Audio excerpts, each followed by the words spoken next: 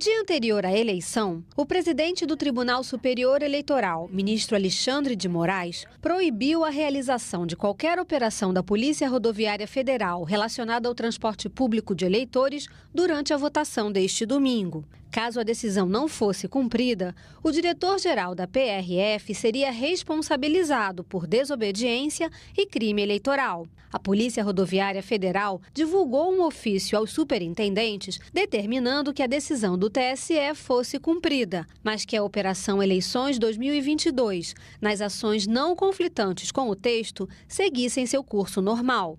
Durante toda a votação deste domingo, a Polícia Rodoviária Federal realizou mais de 500 blitzes em todas as regiões do país. Em nota de esclarecimento, a PRF informou que no segundo turno, a Operação Eleições 2022 já realizou a escolta de 794 urnas e apreendeu 4 milhões e meio de reais em 12 ocorrências. E que as ações nesses últimos dias, em comparação com o primeiro turno, refletiram na redução de 43% de mortes mortes e 72% de feridos em acidentes de trânsito.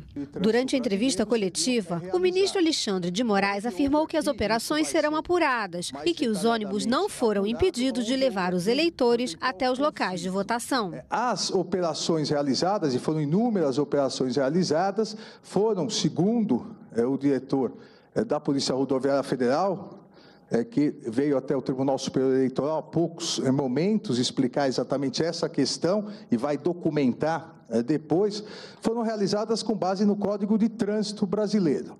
Ou seja, um ônibus com um pneu careca, é, um ônibus com o farol quebrado, sem condições de rodar, era abordado e era feita é, a autuação.